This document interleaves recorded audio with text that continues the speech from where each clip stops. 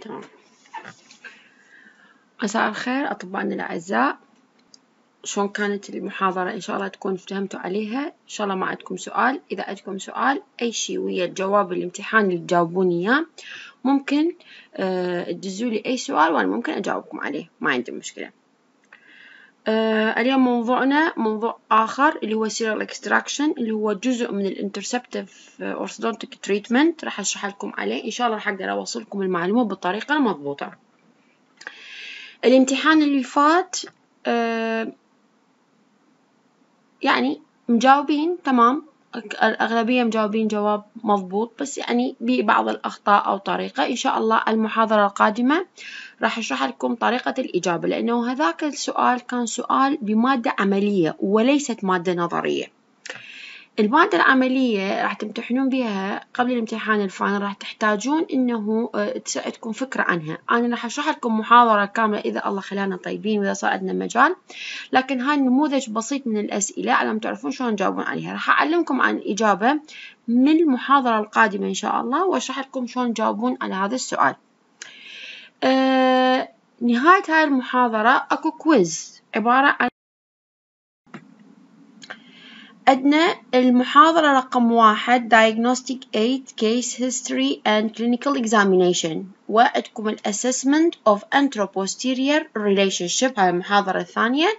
والمحاضرة اللي شرحتها هذاك اليوم بال PowerPoint مع التعليم الإلكتروني ال treatment planning كمان هذاك اليوم.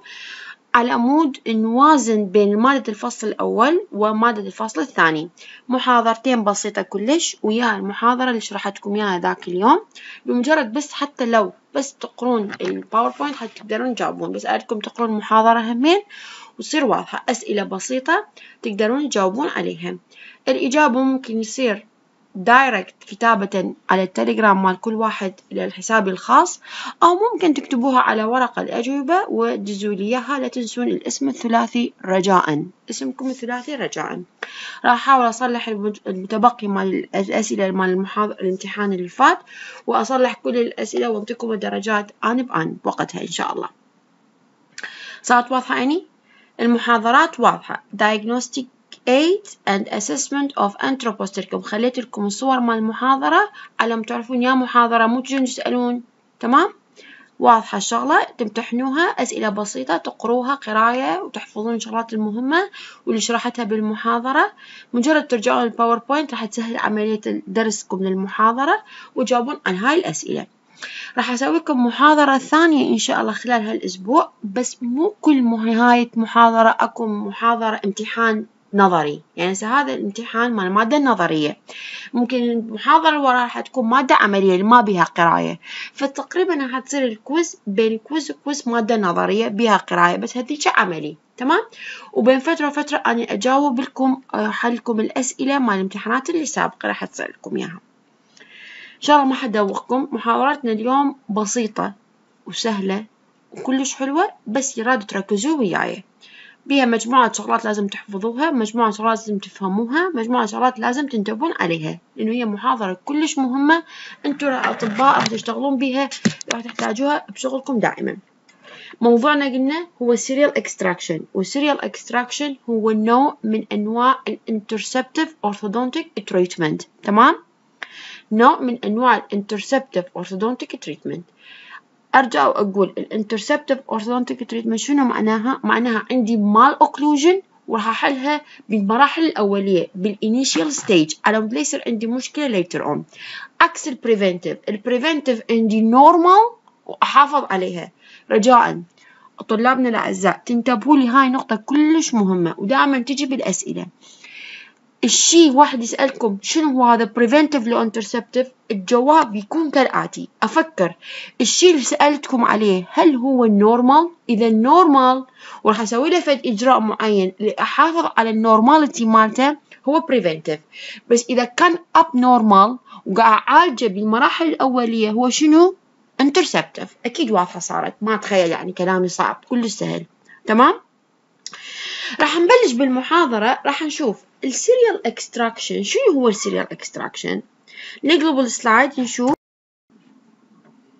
نشوف عندنا هاي الصورتين واضحة بهذا ال slide. صورتين صورة سنترالات طالعة. نشوفون شوي بها خربطة نوعا ما. وعندي ال lateral ات الصورة اللي وراها قاعد تشوفون ال lateral طالعة behind the two central incisors معناها ما عندي space. معناها هي عندي crowding. يعني هذا serial extraction هو شنو عندي crowding. إذا ال malocclusion شنو هو؟ في حالة ال serial extraction هو ال crowding من يكون عندي crowding راح أحتاج إلى فد procedure that involve timing extraction of primary teeth. انتبهوا. عملية extraction لل primary teeth followed by extraction of permanent teeth. يعني راح نقلع أسنان لبنية وأسنان دائمية واحدة ورا الأخرى in order to relieve the severe crowding. And إحنا عندنا crowding. حليناها بعملية ال extraction وتصلحت الموضوع. ما عندنا مشكلة بالموضوع. تمام؟ نفس الوقت راح نسوي فد guide لل eruption لل permanent teeth بال normal position يعني عندي crowding صار. وحليته وإضافة إلى سويت guidance for normal eruption لل other permanent teeth in their normal position. Without any malocclusion لذلك من هذا المست... من هذا المنطلق يعني إضافة إنه ليش سموه serial extraction لأنه هو عملية يعني سلسلة متك... متكونة من عملية extraction لل primary teeth followed by permanent teeth. عندها اسم ثاني لأنه هي وظيفة ال serial extraction هو guide لل eruption of permanent teeth. الاسم الثاني هو guidance نشوفوا guidance of occlusion مهم هذا الاسم مو دائما مرات اسالكم مرات اسالكم أقول لكم شنو هو serial extraction أو ممكن اسالكم ال guidance of occlusion guidance of occlusion ليش سموها لأنه هو حيسوي لنا guide لل eruption of the permanent teeth in normal position ليش سموها serial extraction لأنه عملية سلسلة متكررة من ال extraction of primary teeth followed by ال permanent teeth إضافة شنو هو ال malocclusion تعامل ويا serial extraction هو ال crowding تمام. وخاصة ال crowding اللي قد تصير في مرحلة ال anterior teeth بعض هاي الصورتين واضحة إنه عندي crowding بال anterior segment ال anterior segment يمكن تصير بها eruption هذا الشيء هذا شغلنا مع serial extraction مرتبط ارتباط وثيق بعملية ال sequence مال eruption of the permanent teeth. مرتبط ويا sequence of eruption and development of the ال permanent teeth. شو راح يصير عندي development of dentition أكيد ماخذيها العام والكل يعرفها صح لو لا؟ وشارحيها واضحه لكم إنه عملية ال shedding of teeth راح تطلع ال permanent كل واحد بتسلسل بدرجة معينة وبوقت محدد صح لو لا؟ من يصير عندي خربطة راح يصير عندي مشكلة ومن يصير عندي ظهور ويا ال crowding راح يصير عندي مشكلة راح أحتاج إلى إلى ال serial extraction عادة بالسبع إلى ثمان سنوات of the age بال maxillary وال mandibular يصير بها ال eruption. طبعا تطلع ال centrals قاعد تشوفون هنا ال centrals شلون طالعة قاعد تلاحظوها. شوية خربطة. أتوقع ال lateral راح يصير أكثر مخربطة وأكثر راح تتأثر بال crowding شو ما واضحة بالصورة رقم اثنين. تمام؟ والنتيجة شو راح يصير؟ راح يصير عندي ما عندي space وال space من ما يكون يعني معناه ال crowding أحتاج أعالج هذا الموضوع. هل هو التشويس هو ال serial extraction دائما وابدا؟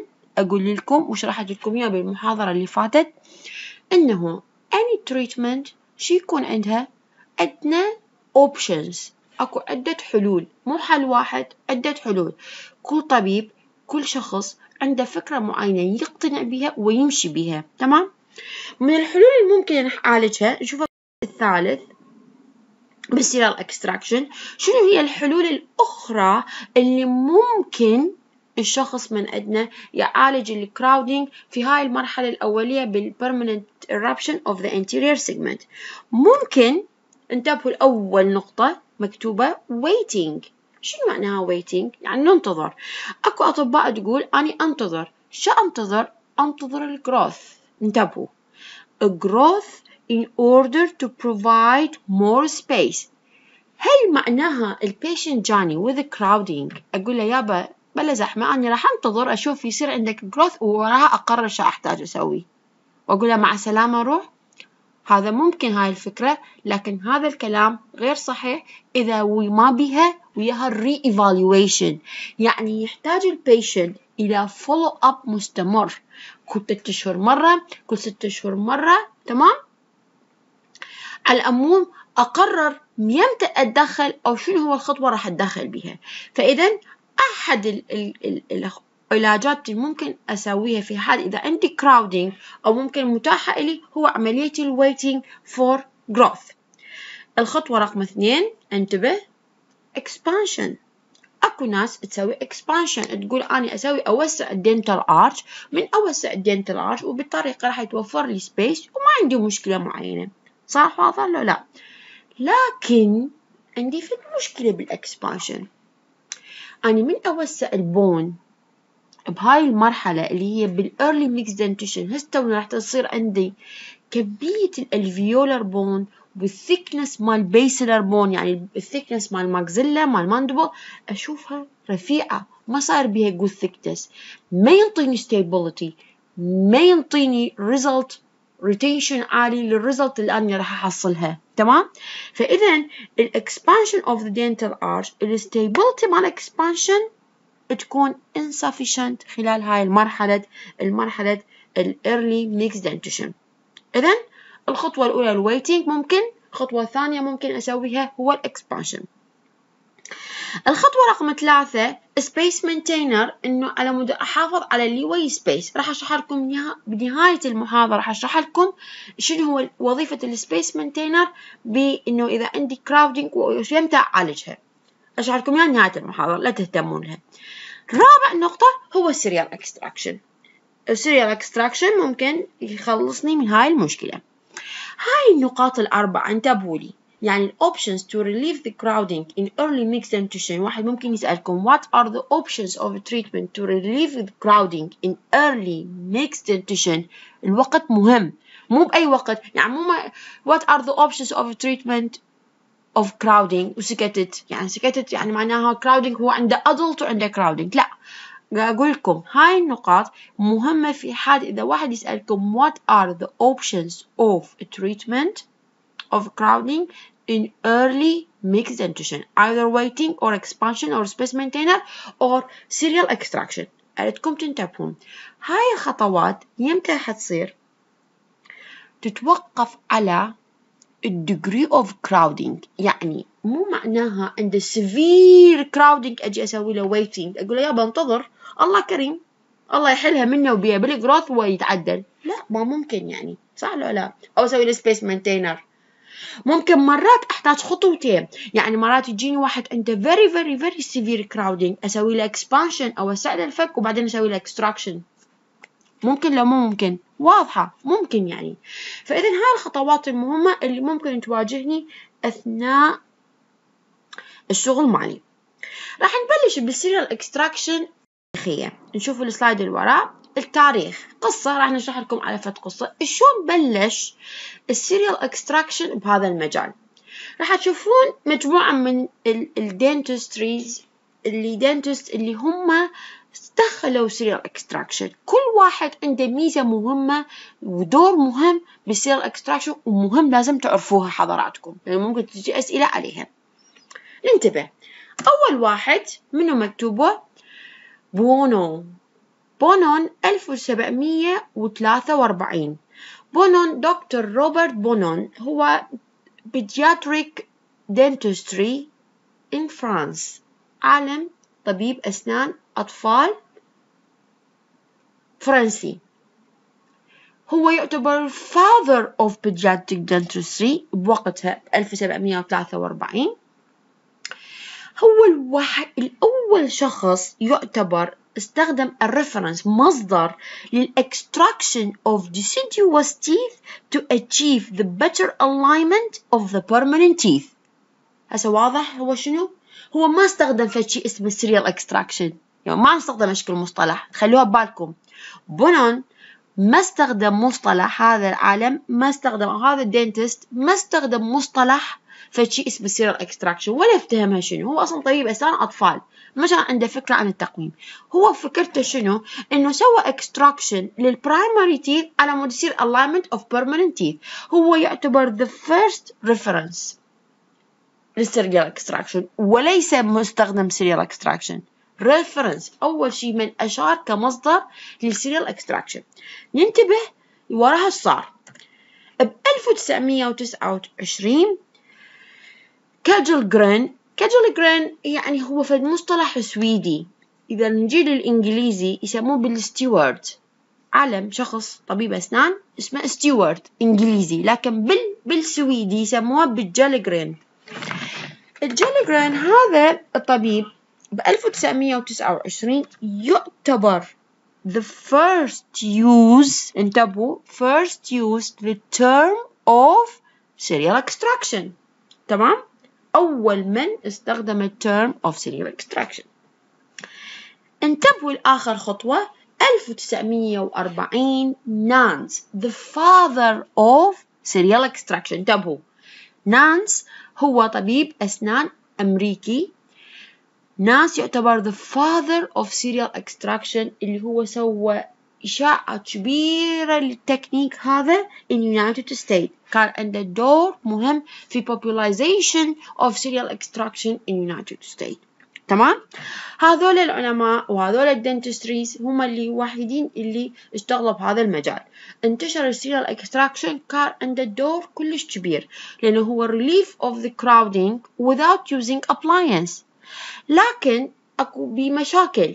من بين المشاكل ممكن بها عمليات قلع أسنان. وممكن يوقف يصير عندي فراغ. لهذا بعض الأطباء تجنبوها. يحتاج إلى cooperation عالي من قبل ال patient راح تشوفون هسه راح أشرح لكم ال advantage وال disadvantage وال indication وال contraindication كمان كل شغلة بيها.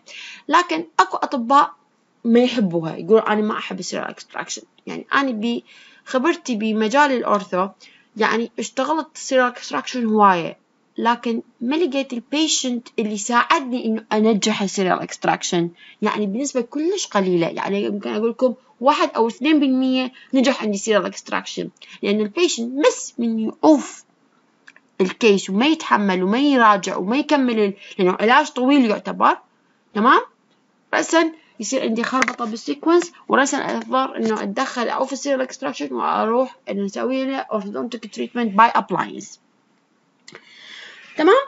هسه صار عندي واضحة شنو هو serial extraction وشنو هو ال history مالته. هسه راح أجي أشرح لكم شنو هي طريقة ال serial extraction قبل ما أحكي عن ال advantage disadvantage indication contraindication راح أشرح لكم ال procedure الخاصة بال serial extraction انتبهوا وكلش ننتبه لل slide اللي وراه.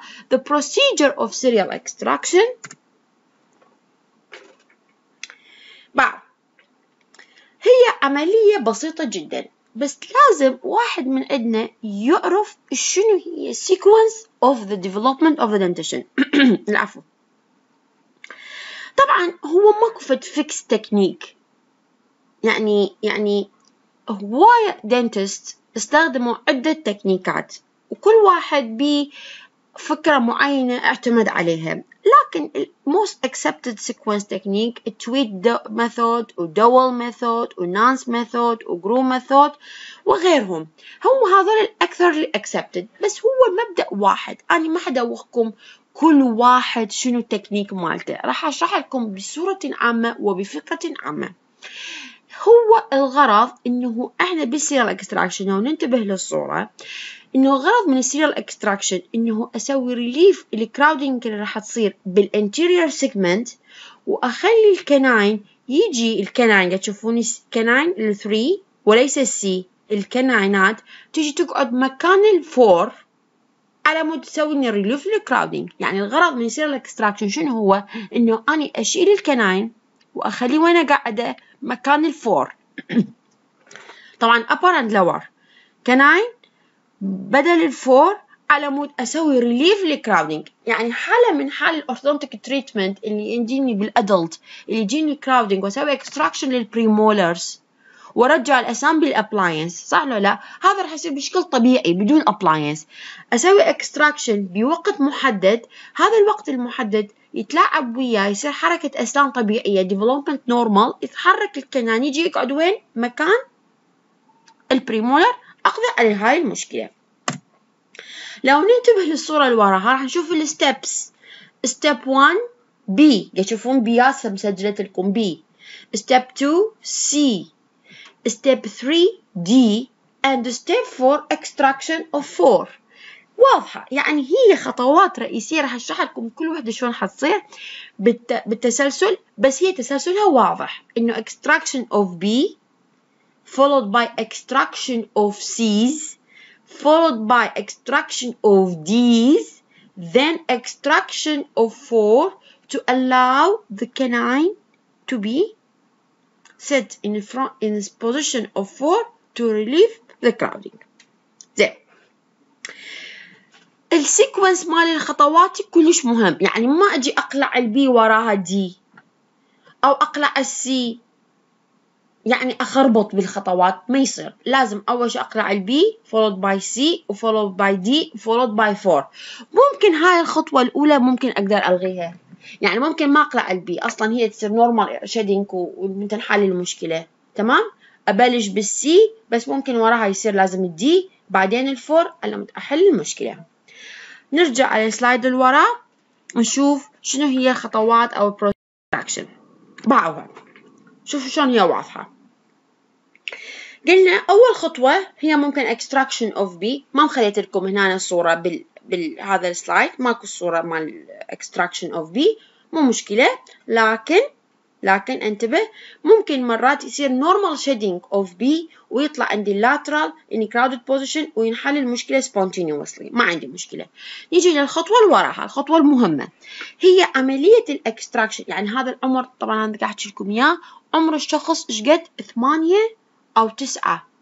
يعني يعني إحنا نعرف إحنا ال canine ال upper canine خاصة. تمام؟ ال upper canine.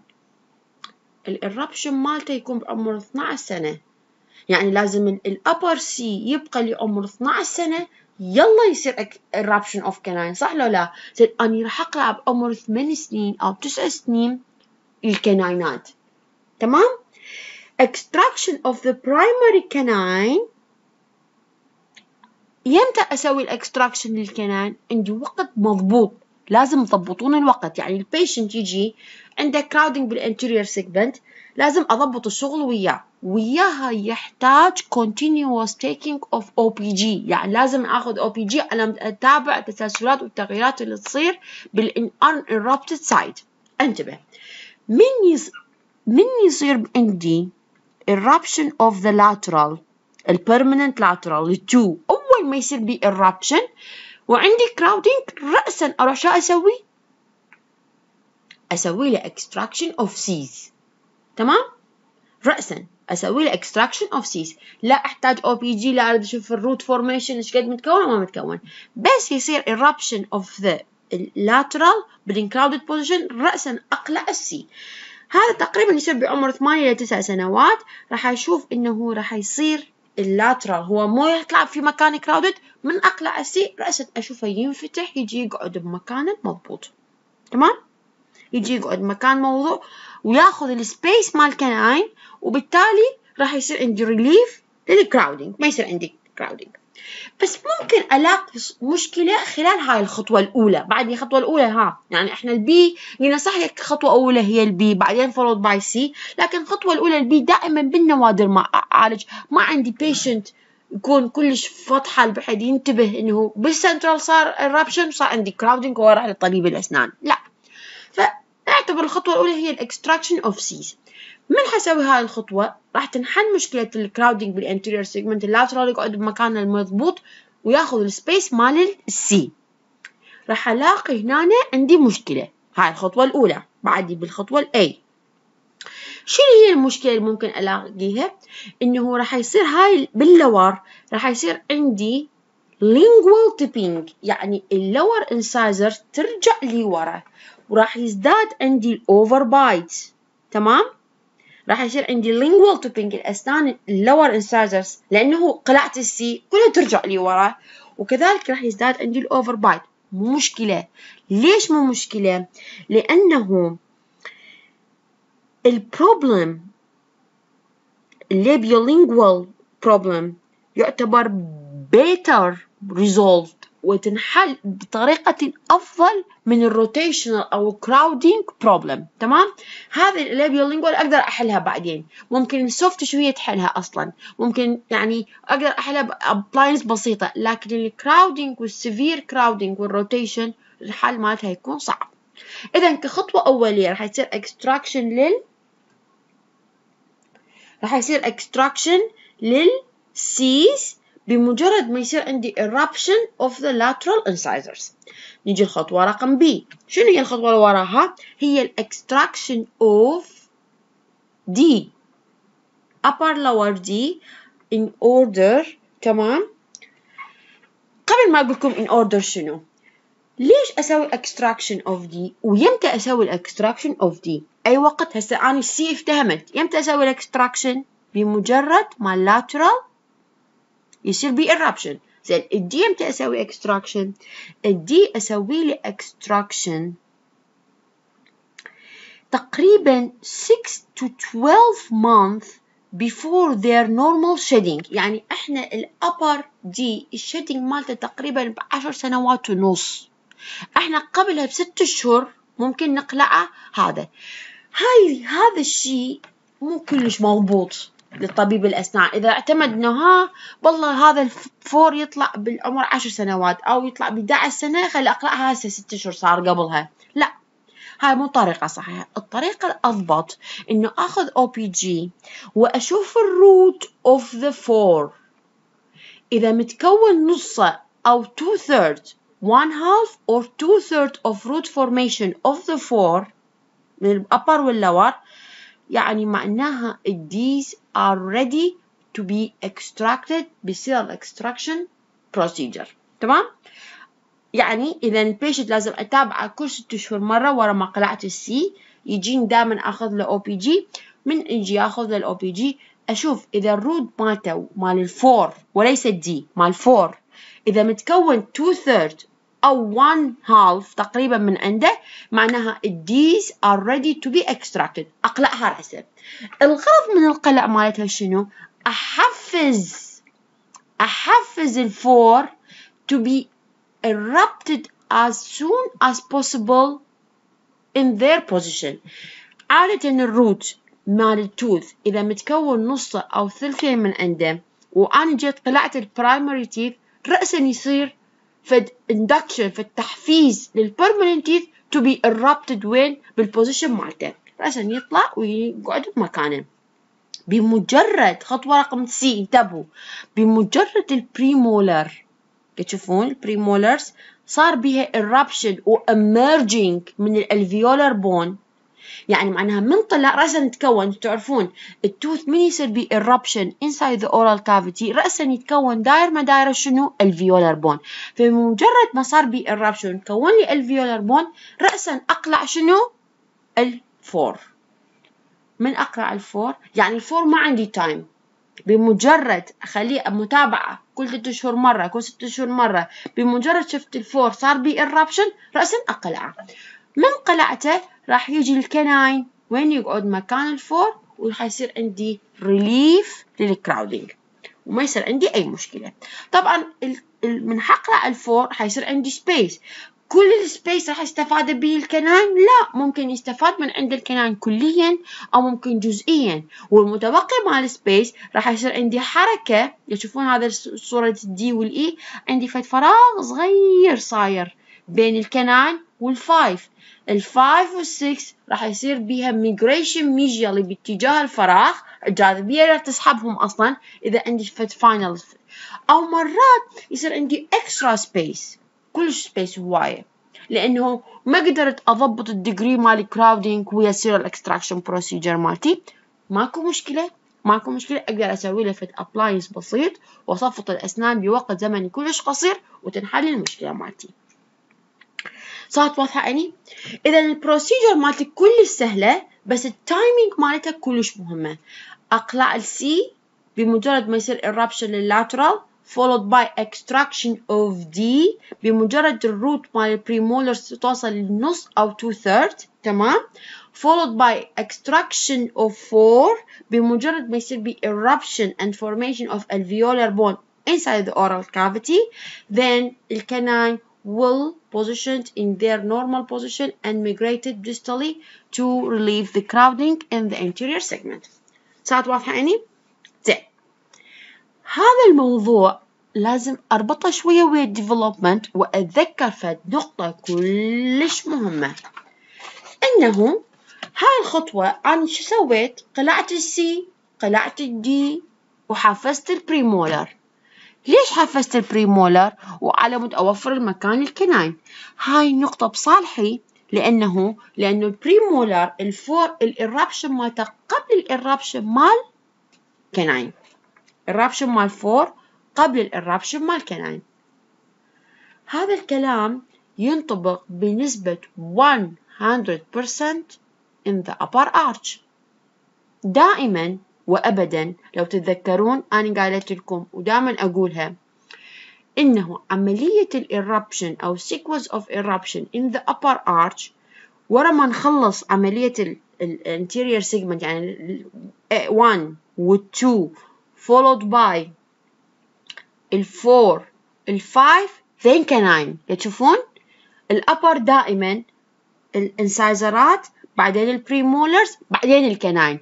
فإحنا من نسوي تحفيز لل premolar ونقلعه. نخلي ال canine ياخذ راحته يروح يسوي distal migration يروح للفراغ مال four ويطلع بمكان مضبوط ويسوي relief crowding انتبهوا لل slide. ال lower arch بال lower arch عندنا مشكلة. بنسبة خمسين percent انتبهوا بنسبة خمسين percent مرات يكون ال premolar ال eruption مالتها قبل ال eruption مال canine وخمسين percent للناس يكون عندهم eruption مال canine قبل ال eruption مال four. بتشوفون صار عندي مشكلة يعني إحنا إحنا نحفز ال four على ظهورها قبل ال canine على مود نحل مشكلة ال crowding. زين إذا شخص يجيني وآخذ له OPG وأشوف إنه مستوى ال canine أعلى من مستوى 4 يعني معناه ال canine جاي يسبق ال four بال eruption وهو وارد بال lower arch وليس ال upper. انتبهوا ال upper ما عندي هاي المشكلة. المشكلة وين؟ بال lower. زين إذا ال patient جاني وال canine جاي يسبق ال four يعني the canine is ahead of first premolar to be erupt يعني ال canine يريد يطلع قبل ال four. المشكلة شلون أحلها؟ عندي ثلاث حلول. انتبهوا شرحت لكم إياها على شكل يعني ما عندي سبورة متأسفة جدا. لو كان عندي سبورة وأشرح لكم إياها. بس لأنه هذا فشرحت لكم إياها على ورقة وأخذت صورة للورقة وخليت لكم إياها. باوعوا. When the problem in serial extraction كتبت لكم إياها إن شاء الله تكون واضحة. Problem in serial extraction in lower dental arch when the lower canine شوفوا is ahead to the lower premolar. من يكون ال canine هو اللي يسبق ال premolar الحل عندي ثلاث حلول. واحد اثنين ثلاثة. هذول ثلاث dentists قرروا يسووها بهاي الطرق وكل واحد يختار الطريقة اللي يقتنع بها. تمام؟ هسه راح نشوف شنو هي الطرق. أول حل إلى هاي المشكلة. إحنا الخطوات مالتنا شنو هي؟ نقلع ال B نقلع ال C نقلع ال D وبعدين نقلع ال four نحل مشكلة ال canine صح؟ زين. هسه إحنا ما نقدر نسوي هاي الخطوة ليش؟ لأنه ال canine ده يسبق ال four يعني من نجي نقلع ال ال ال canine ال B ونقلع ال C ال canine نفسه راح يطلع. وإحنا بعد ما قالعين لا D ولا قالعين ال premolar تفهمون شلون؟ زين الحل شلون؟ الحل بسيط. انتبهوا. في هاي المرحلة الحلول عندي ثلاثة. انتبهوا للحل رقم واحد. راح أوضح لكم إياها. كله سهلة. بس انتبهوا علي زين. نقلع ال B ونقلع ال C والسريع نقلع ال D وياها نقلع انتبهوا surgical removal of lower four. قلعنا ال B وال C وال D and surgical removal المنو lower four. نسوي enucleation. يعني إحنا مو نقلع ال D نأسد شوية نكبر الفتحة ونوصل لل premolar ونقلعه. تمام؟ على مود شنو؟ ال canine لأنه هو جاي يسبق ال four. إحنا شلنا ال four راح نشوف إنه ال canine راح يندفع distally. من حيروح distally؟ راح يسد هاي المشكلة مالتي. بس هاي الطريقة عندي مشكلة. المشكلة شنو هي؟ شوفوا. persisted bone defect at the site of extraction. أنا إيش قلت لكم؟ قلت لكم من إحنا نقلع ال premolar بالخطوة السابقة بال slide السابق مش شرحت لكم مش قلت لكم؟ من قلعنا ال D نقلع ال first premolar بمجرد ما يصير eruption inside the oral cavity. لأنه من حيصير eruption inside the oral cavity راح يتكون alveolar bone ينطي فد bone thickness بالمنطقة بال arch هذول الأشخاص اللي تقلعوهم بهاي الطريقة يعني بنيجي نقلع ال D ونقلع رأسا surgical removal لل four يشبه هذول الأشخاص اللي يشبه الحج والحجية. الناس الكبار اللي قالعين أسنانهم فترة زمنية كلش طويلة تمام؟ وصار أنتم في thin bone تشوفون إيش رفيعة كلش هواية رفيعة يشبه هاي الحالة. فتصير سببها شنو؟ إنه إحنا قلعنا ال C وقلعنا ال D وقلعنا ال four آنيا surgically بدون ما نخلي يتكون alveolar bone بال site of extraction وبالتالي راح يصير عندي فد persisted and defect in the bone in that site ولا هي تنحل مشكلة ال crowding صارت واضحة؟ إذا أحد يقتنع بهاي الطريقة ما عندنا مشكلة. زين طريقة رقم اثنين. نقلع ال B عادة على خطوات أشرح لكم إياها من الأول. نقلع ال B إذا احتاجيناها أو إذا انقلعت منه بها. وراها lower B ال C ما انقلعه. ما انقلعه بقي C أنا بالكلام لا يطلع. بقي C شو نسوي؟ نقلع ال D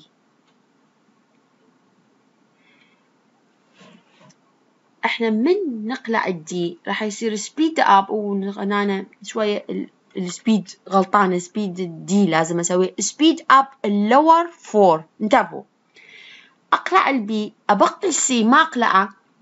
أقلع ال D يصير speed up لل eruption مال four مين يصير eruption لل four على مود يصير alveolar bone أقلع ال four ونفس الوقت انتبهوا تشوفون الزائد خليته وياه. exo لل lower C يعني أني أقلع ال B وأعوف ال C أقلع ال D وأنتظر. يصير ال eruption لل four أول ما يصير الرابشن للفور أقلع الفور والسي نفس الوقت. هذاك الوقت تنحل مشكلة ال canine. لكن another problem we have.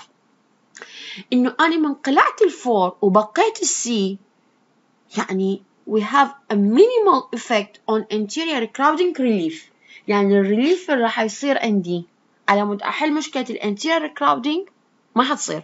يعني ال lateral يبقى crossbite أو صاير بي crowding ال central ممكن يصير انفستنج out of the dental arch يطلع من ال dental arch ويظل ال crowding موجود لأنه ال C لازمهم من الصفحتين. تمام؟ فيصير بهم ectopic eruption ويصير عندي هاي المشكلة. يابا شنو قاعد أنتظر ال four ويلا أقلع ال C. صح ال canine راح يجي يقعد مكان ال four بس ال crowding بال anterior راح تبقى كما هي وما تنحل عندي المشكلة. زين الخطوة أو الحل الثالث لهاي المشكلة اللي عندي إياها مشكلة إنه ال canine قبل ال four. انتبهوا. exo لل B exo C exo D عادي تمام؟ وراها بست شهور مباشرة أقلع ال E هاي سوينا؟ قلعنا كل الأسنان اللبنية المسكية تبقى له ولا سن. نقلع ال C وال D ورا ست شهور مباشرة ما أخذ X-ray بدون ما أفكر. أقلع ال E رأسا. وألبسه في translingual translingual شفتوها؟ شوفتكم إياها بال space maintainer. ليش ألبس ألبس ال translingual هو عبارة عن band يتركب على السكس على مود أمنع ال tilting of 6 باتجاه الفراغ. عندي صار فراغ كبير. ال C مقلوع وال D مقلوع ال E مقلوع. فالسكس رأسا يزحف يروح باتجاه الفراغ. فإحنا نلزمه عن لا يتحرك. تمام؟ شو حيصير؟ راح يصير النتيجة. باعوا سويت لكم سهم. راح يصير eruption of 4 وين حيصير eruption مال 4 راح يصير eruption of 4 in place of lower 5 يعني ال four ال first premolar وين تحت تقعد؟ مكان ال second premolar تمام؟ بمجرد ما يصير eruption of 4 وقعد مكان ال 5 أسوي رأسا exo للمنو؟ لل four بذلك أني شلت ال four اندفع ال canine باتجاه ال four قعد في موقع مالته. وصار عندي relief crowding وصار عندي alveolar bone وصار عندي فراغ. هذا الفراغ يعني بعد بخطوة رقم ثلاثة قلعت ال C وال D وال E وخليت translingual رأسا ربطت قيدت السكسس وراها سويت صار عندي eruption of four بمجرد بمكان ال canine بمجرد العفو eruption ال four مكان ال five و eruption of canine بمكان ال four تفهمون شلون؟ أنا من قلعت كل هاي الفراغات صارت عندي فراغ كلش كبير جاء ال four لأنه ال four دائما يسبق ال five يقلع يطلع يصير ال eruption مالته وين؟ مكان ال five وال canine هو أصلا سابق الكل راح يجي يقعد مكان ال four تمام؟ بمجرد ما يسوي أنا بدا يصير عندي impaction بال five بمجرد ما يطلع يصير eruption لل four رأسا أقلع ال four يصير عندي space وهذا ال space أبقي translingual هذا ال space بي eruption ال five later on وبذلك راح تنحل عندي المشكلة.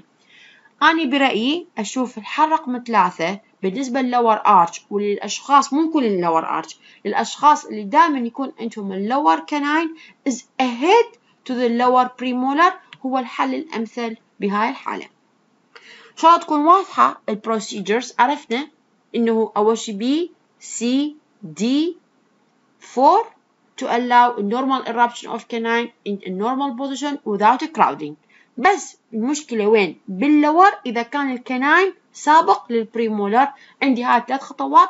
إن شاء الله تكون واضحة. وأي سؤال أنا حاضرة. تأمرون؟ أمر. ننتبه. عندنا بعض النقاط يسموها بال rationales بعض النقاط المنطقية والواقعية اللي ممكن تواجهني أثناء أثناء العلاج مالتنا of serial extraction ننتبه للنقطة رقم واحد ال timing أكو فد قاعدة تقول إذا primary tooth extracted prematurely one and half years or more يعني سنة ونص أو more before the time of their normal exfoliation, the eruption of the permanent teeth will be delayed. أه شنو معنى هذا الكلام؟ يعني إذا أنا قلعت السن قبل هذا الوقت بسنة ونص أو أكثر يعني بسنتين قبل ال normal ال shedding مالته ممكن راح يأثر لي على eruption of teeth. إحنا ما عندنا مشكلة ليش؟ لأن كل الأسنان تقريبا تنقلع تقريبا ست شهور أو سنة. قبل الوقت هم ما عدا ال C ال C هي قاعدة شاذة بالعكس أصلا ما يأثر على ال canine لأنه ال canine ال eruption مالته وال guide مالته هو ال lateral وليس ال C تمام؟ لكن أكو قاعدة أخرى أيضا قالت إنه إذا صار extraction of primary tooth سنة أو أقل راح يصير acceleration لل eruption of time. إذا هاي نقطة ممكن تفيدنا في عملية ال serial extraction نقطة رقم اثنين ال side طبعا ال side اللي بي crowding وسوينا serial extraction ال relief of crowding بال side اللي بي crowding راح يكون أكثر من ال side الثاني. هاي أكيد. زين نقطة رقم ثلاثة inter canine width. هاي مو نقاط ممكن شنو ما يعني ما ممكن أجي أسألكم شنو هو ال rationale of the serial extraction ماكو اشكال حالة. لكن هاي شغلات لازم تفهمون. ال timing مهم وال side مهم وانتبهوا لل inter canine width هذا كلش مهم. بعد. يقول لك ال inter canine width يعني المسافة من ال canine to canine in the arch الواحد. يعني خلينا نقول بال upper arch من ال right canine into left كناين أو بال lower arch من ال right canine إلى ال left canine. ال intercanine width increase intercanine width يعني هذا المسافة يعني كأنه كأنه يقول لك عرض ال dental arch راح يزداد.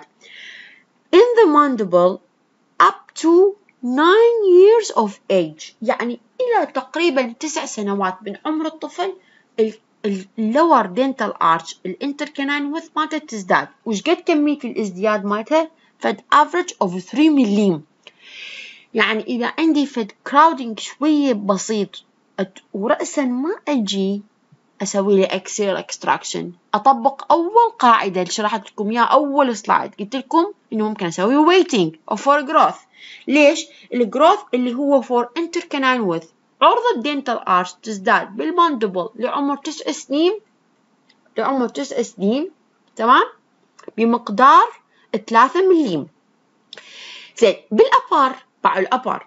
تزداد ال intercanine width لعمر 12 سنة بال females لعمر 12 سنة و16 سنة بال males تقريبا أربعة ونص مليم. ترى أربعة ونص مليم ترى كمية طلابي. انتبهوا أربعة ونص مليم ترى كمية كلش زينة.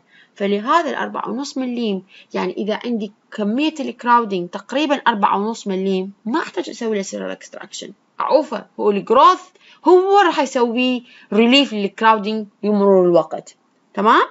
فإذا لازم انتبه ولازم أعرف هذا الشيء. وعادة ال serial extraction هي طريقة آمنة لأنه سن يصير بي eruption within the keratinized tissue. زين.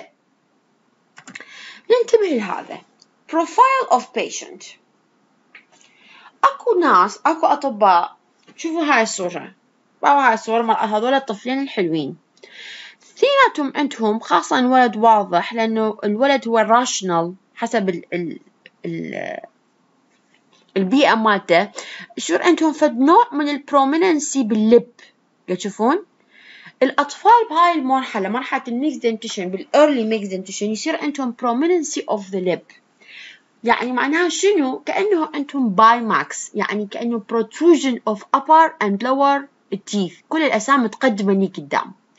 إحنا هذول إذا adult يجينا وأسنانه متقدمة لي قدام. شنو الحل مالته؟ أقلع ال premolar ات مو؟ وارجع الأسنان لي ورا زين هذول أطفال. فقسم أهالي يتفضحلون على راسه. شو يقولون؟ هذا طفل صغير. خلينا نعالجه هو بعد صغير.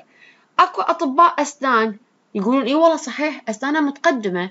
أجي شو أسوي؟ extraction يصير ال extraction تمام؟ وأحل هاي المشكلة. هذا كلام خطأ. مو prominency عندي لل lip بهاي المرحلة عندي protrusion بال teeth معناه لازم أحل المشكلة ب serial extraction. ال serial extraction not for protrusion it's for crowding. يختلف ال crowding يختلف عن ال protrusion أسنان متقدمة وين؟ وأسنان متخربطة وين؟ أكو فرق بيناتهم صح ولا لا؟ ال profile مال patient كلش مهم. ال prominent lip with flat the other part with flat other parts معناها مو معناها يعني ممكن يصير عنده bimax لا مو ممكن ليش؟ لأنه ال growth مال nose وال growth مال chin continue for a long period of time ممكن هذا ال growth مال nose وال growth مال chin يغطي ال growth اللي راح يصير بال lip وبالتالي وبالتالي شو حيصير؟ ما حيصير عندي bimax حيصير عندي normal condition تمام؟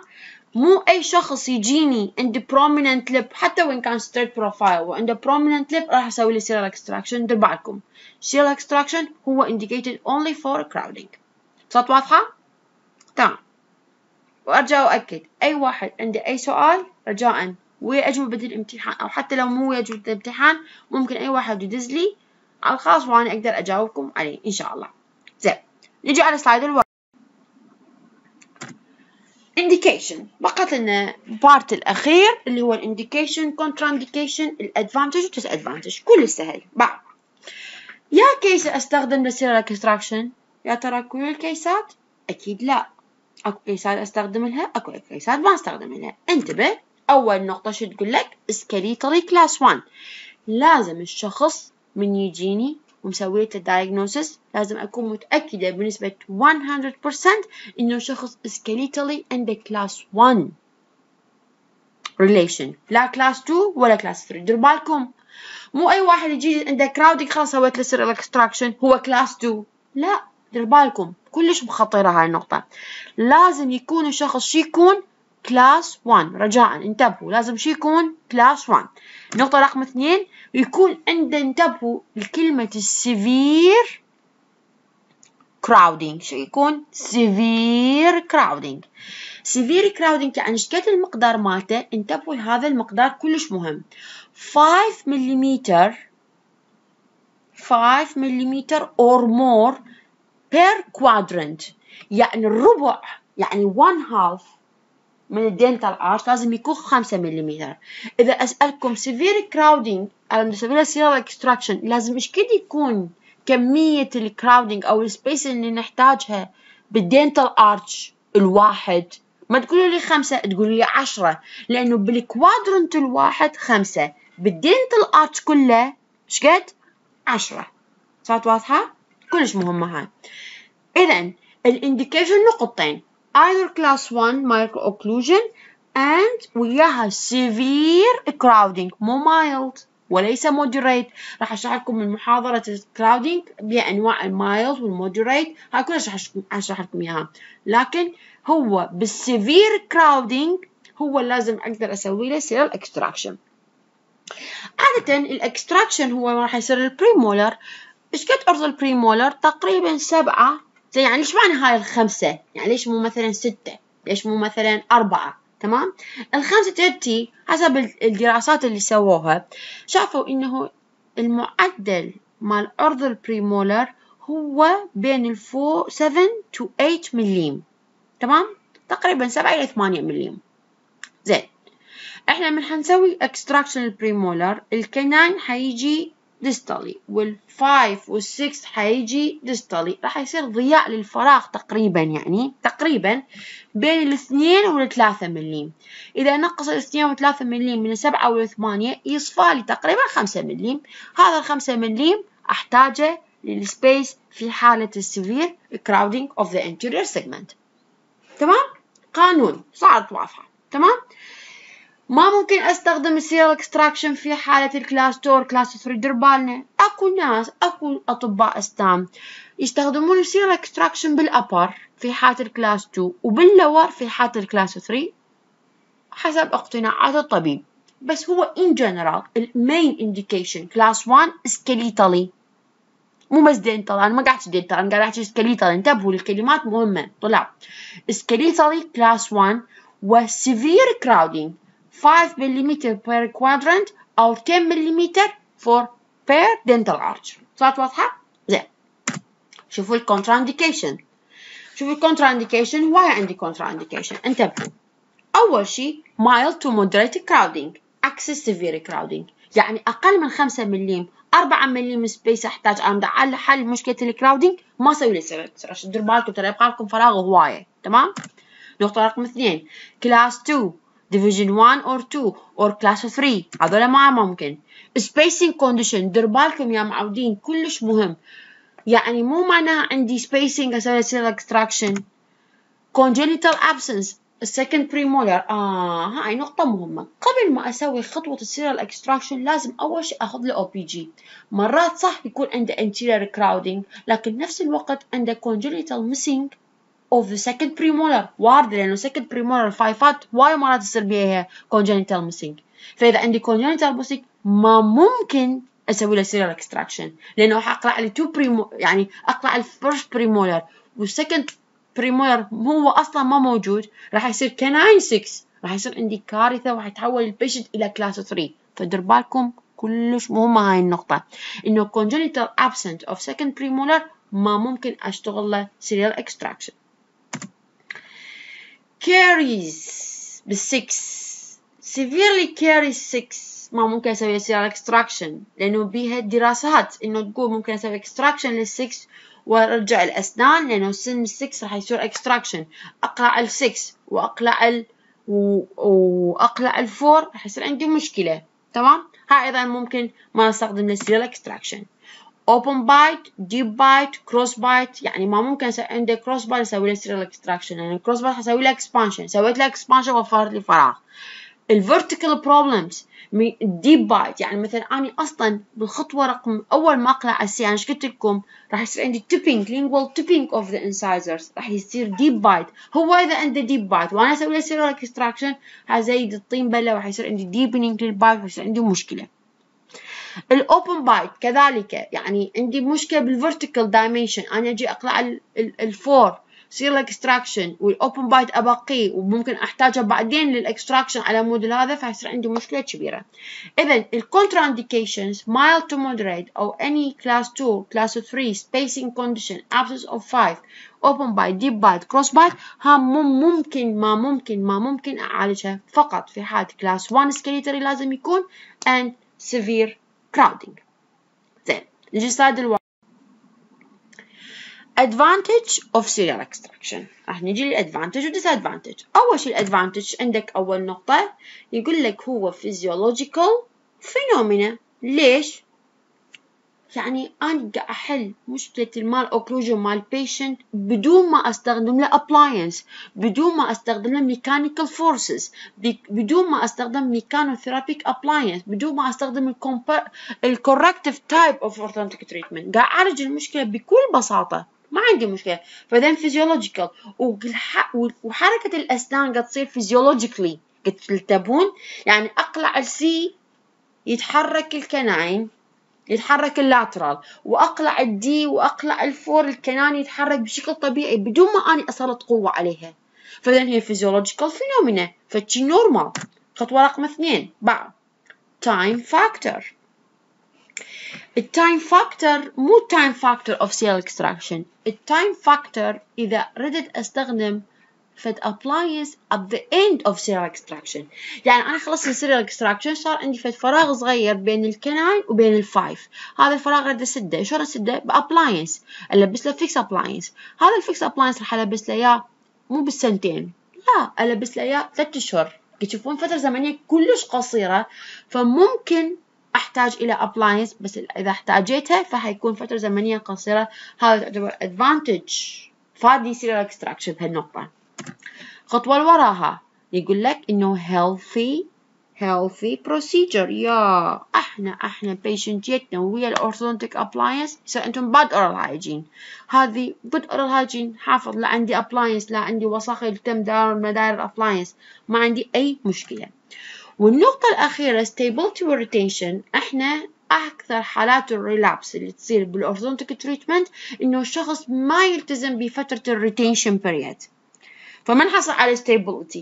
لكن بالهذه ال movement أو serial extraction ال movement يصير بشكل طبيعي وتتحرك الأسنان أكيد stability عالي وال retention كلش ما نحتاجه بهاي المرحلة وبالنتيجة راح نحصل على best result. ننتبه لل slide الورا disadvantage of serial extraction. راح نشوف بيها وايد شغلات. مثلا psychology of the patient. أكيد راح يصير البيشنت فد نوع من psychological trauma. ليش؟ لأنه تعرفون إحنا قاعد نتعامل ويا أطفال صغار ويا عيني على الأطفال الصغار وهذول الأطفال الصغار ويخافون من الإكزو. جاي يخاف من ال exo. تصور سوينا أول extraction سوينا extraction مال C مثلا وعندنا موعد ورا فد ست شهور احتمال بيه extraction of D يعني هو من حيجي نفسيته تعبانة ليش؟ لأنه عنده خوفه من ال extraction فأكيد psychologically راح يصير عنده نوع من ال trauma وراح يصير يتعقد من طبيب الأسنان لأنه العلاج مالته كل خطوة هي عملية extraction أكيد تمام؟ Patient cooperation. هذا مقصد كلامي. مو cooperation with the appliance. أنا ما عندي appliance. cooperation with the appointment. يعني ال patient يلتزم بالمواعيد. إذا ما التزم بالمواعيد العلاج راح يفشل يعني يعني فشلا ذريعا. لازم كلش مهم إنه الشخص يلتزم بالتعليمات ويلتزم بالمواعيد على مود نحصل على ال result المطلوبة. tongue thrust راح يصير عنده سيولة لأنه راح نقلع أسنان. دائما يحرك لسانه باتجاه الفراغات وبالتالي راح يصير عنده سيولة فيصير عنده tongue thrust deep bite شرحت لكم إياه؟ قلت لكم راح يصير ممكن عنده deep bite لأنه الأسنان يصير بيها lingual tipping. يصير عندي يبقى لي فراغ صغير residual space. Not alone يعني not alone the procedure وحده يعني إحنا بنسوي fix appliance وحده بالساحة. أسويه وأخلصه وينتهي الموضوع. لكن يصير extraction ممكن يحل المشكلة وحده أو ممكن ما يحله وأحتاج إلى another appliance. فأكو patient يتزعج. يعني يقول أنا جيت لي من أنا عمري صغير وعرضت ابني لاكستراكشن متكرر واحد ورا الأخ وبعدين هم لبسنا على الجهاز. هذا الشغلة إحنا مو بيدنا يعني. إذا حجم أسنانه وعدم التناسق الموجود أو عدم التزام بالمواعيد ممكن يولد لي مشكلة بهذا الموضوع. طبعا هذا الشيء يحتاج إلى خطوة مهمة بال diagnosis اللي هو space analysis اللي راح أشرح لكم إياها بالمحاضرة القادمة إن شاء الله. space analysis أسوي تحليل لل space كمية ال space اللي أحتاجه وكمية ال space المتوفر عندي. مهمة هاي النقطة.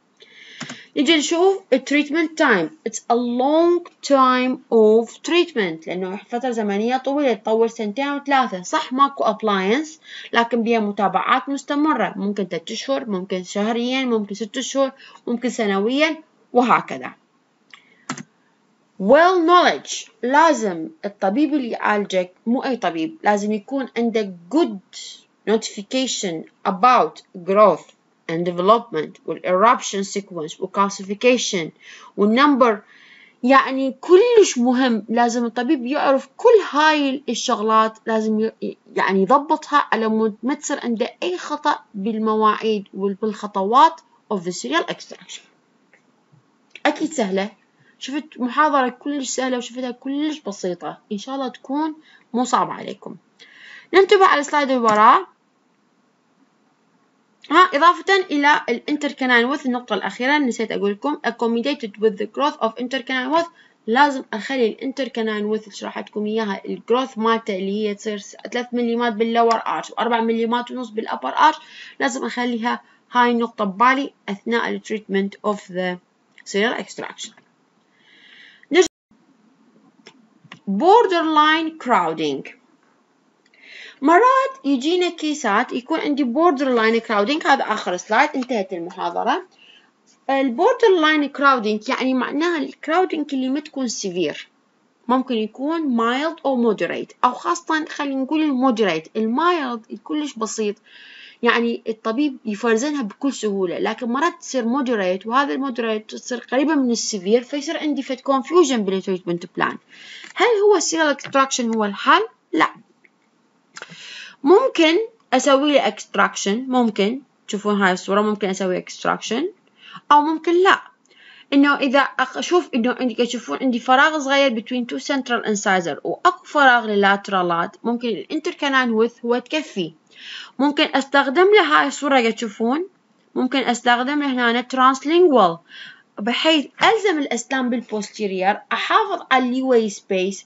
هذا الفراغ مال ال leeway space تستغلها ال anterior teeth كلها ترجع بها لورا وتحل مشكلة ال crowding أو أستخدم له expansion فد expansion بسيط مو skeletal على مود أحتاج ل stability expansion بسيط بحيث يحل هاي المشكلة وما أحتاج إلى ال serial extraction أتمنى أنه ما أكون أزعجتكم. محاضرة بسيطة جدا بس لكنها مهمة جدا وتنتبهون عليها بها تفاصيل دقيقة وبسيطة بس تتخربط مرات فلازم تنتبهون عليها وأتمنى لكم كل التوفيق. نرجع على ال slide آه. Quiz of the lecture. Quiz of the lecture حتشوفون أن ثلاث سلايدات ورا هذا ال quiz عبارة عن كويز مال المحاضرات الثلاثة اللي قلت لكم إياها بداية المحاضرة. تمام؟ راح أنزلكم المحاضرة وأريد أستلم الجواب حد أقصى إلى الجمعة القادمة. نهاية الجمعة القادمة إحنا اليوم جمعة إن شاء الله للجمعة القادمة أستلم الجواب نهائيا يعني ورا الجمعة بعد ما أستلم. طلاب راح تقولوا لي شنو هاي الامتحانات؟ أقول لكم أولا الامتحانات راح يهيئوكم الامتحانات الفصلية. وامتحان الفصل الأول وامتحان الفصل الثاني. لكن مادة عملي ما عندكم. راح نسوي لكم فد بروتوكول مال عملي. إن شاء الله راح نقدر نوضح لكم بيها شغلات مهمة. إحنا ال ortho ما عندنا مشكلة. المشكلة أنتم بقية الافرع عندكم راح تتعاونون بنا عندها بس الله يسهلكم إن شاء الله فترة ال rotation. لكن إحنا بال ortho ممكن أنا احلكم بطريقه معينة بحيث أسيطر لكم على العملي مو مهم تشوفوها يعني. لكن الدرجات راح تجي من هاي الكويزات. تجمع هاي الدرجات وحتفيدكم بالسعي. والامتحانات الفصلية راح تصير؟ فحتشوفون حسويكم منوعة. أكو محاضرات راح تصير امتحانات نظرية. هاي محاضرة نظرية. ثلاث محاضرات بسيطة اثنين من البداية وواحدة من اللي شرحت لكم ذاك الأسبوع. تمام؟ هاي ثلاث محاضرات بسيطة وسهلة تقروها تقدرون تجاوبون عليها وقدامكم أسبوع كامل تقدرون تجاوبون عليها. أتمنى لكم كل التوفيق. وأي سؤال أنا مستعدة وإن شاء الله ما يكون أزعجتكم بالتوفيق إن شاء الله.